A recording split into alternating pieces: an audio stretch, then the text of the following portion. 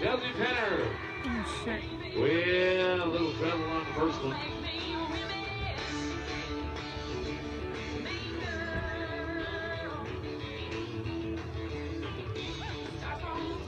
Stops the clock in a 16.21. That's the fastest run we